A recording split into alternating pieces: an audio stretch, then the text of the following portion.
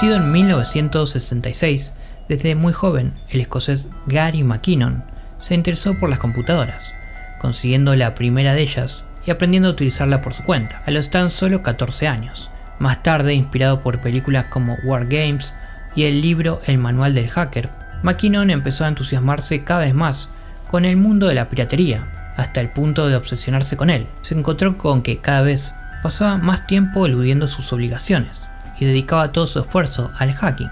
Esta obsesión, obviamente, le llevó a perder su trabajo. En ese momento no le molestó mucho, ya que iba a tener más tiempo para dedicarse a lo que a él le gustaba, mientras vivía en la casa de su novia en Londres. Con el nombre de Hacker Solo, durante un tiempo todo fue una especie de pasatiempo y un juego adictivo para él, pero luego se convertiría en lo que se ha llamado el mayor hackeo informático militar de todos los tiempos, llevando a McKinnon a una oscura madriguera de proyectos militares secretos, extraterrestres y ovnis. Les doy la bienvenida. Yo soy Paul.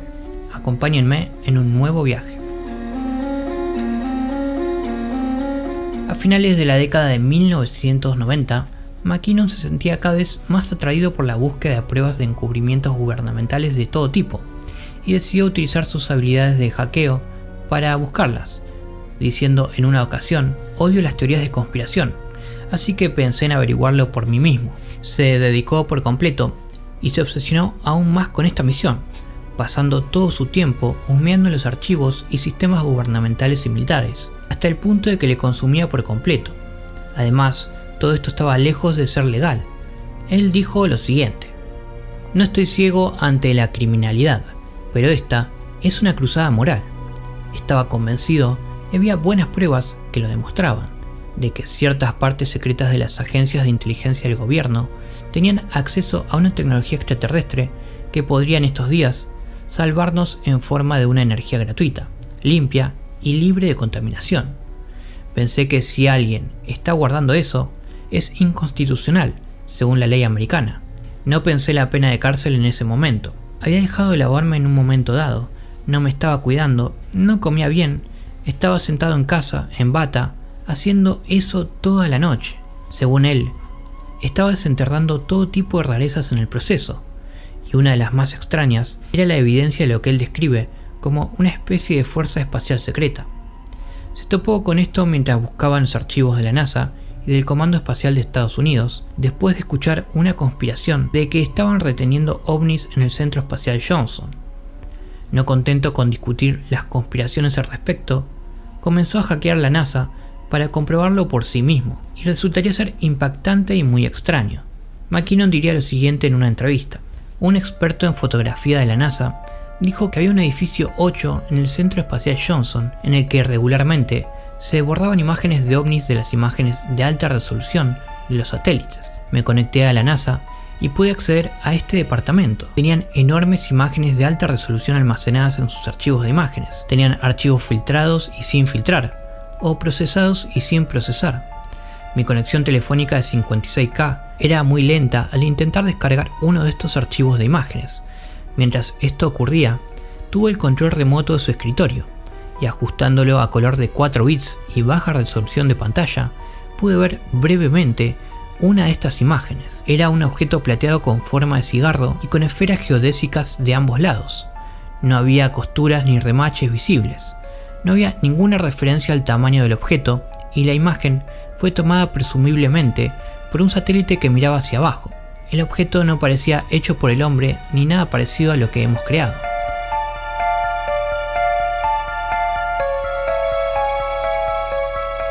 Como estaba utilizando una aplicación Java, solo pude obtener una captura de pantalla a la imagen, que no entró en mis archivos temporales de internet. En el momento cumbre, alguien de la NASA descubrió qué es lo que estaba haciendo y me desconectaron. También tuve acceso a las hojas de cálculo Excel. Una se titulaba Oficiales no terrestres. Sí, lo busqué y no está en ninguna parte. Significa que sean enanos verdes. Lo que creo que significa es que no son terrestres. Encontré una lista de transferencias de flota a flota y una lista de nombres de naves. Los busqué, no eran barcos de la Armada estadounidense. Lo que vi me hizo creer que tienen algún tipo de nave espacial fuera del planeta. También contenía nombres y rangos de personal de la Fuerza Aérea de los Estados Unidos, que no están registrados en ningún lugar. También contenía información sobre las transferencias de nave a nave, pero nunca he visto los nombres de estas naves anotados en ningún lugar. McKinnon afirma que este programa espacial se llama Solar Warden, que está en funcionamiento desde 1980 y que es tan extraño como se puede imaginar. Dice que actúa como una especie de control fronterizo interplanetario para protegerse de los extraterrestres que nos harían daño y que está bajo control del mando de la red naval y de operaciones espaciales y a través de su fijoneo fue capaz de obtener una sorprendente cantidad de detalles sobre este programa. Afirma que Solar Warden tiene a su disposición 8 enormes naves nodrizas con forma de cigarro, más largas que varios campos de fútbol, 43 pequeñas naves exploradoras y varios otros objetos voladores, así como armamento de rayo avanzado, todo ello derivado de la tecnología alienígena de ingeniería inversa, probado en bases secretas, incluida la infame Área 51 de Nevada.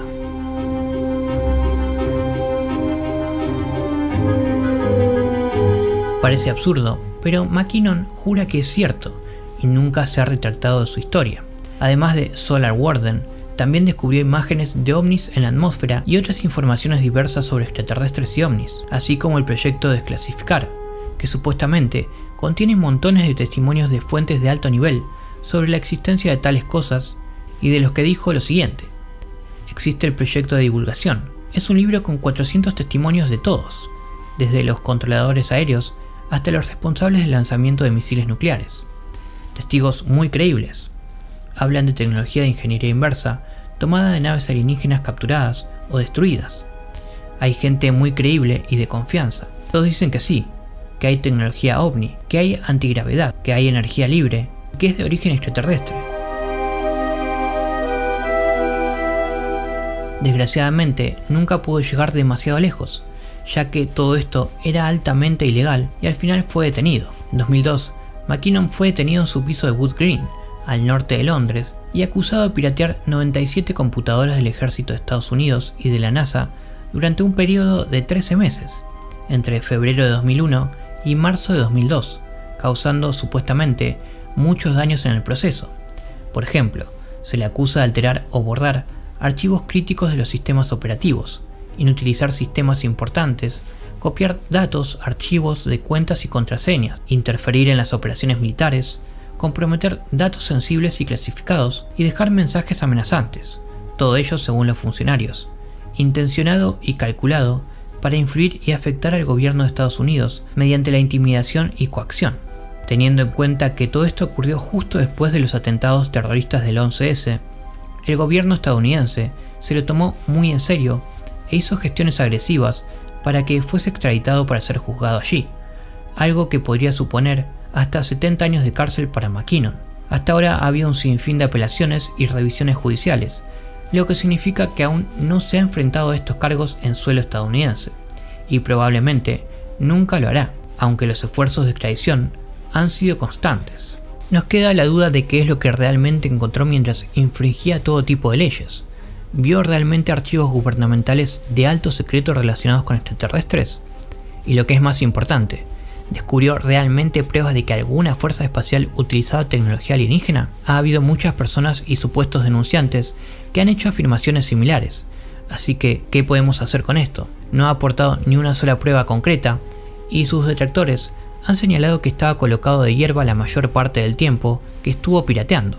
Así que, ¿es todo un cuento chino? Sin duda McKinnon está metido en un buen lío con el gobierno de Estados Unidos, pero está por verse si tiene alguna relación con archivos secretos extraterrestres y programas espaciales de ovnis.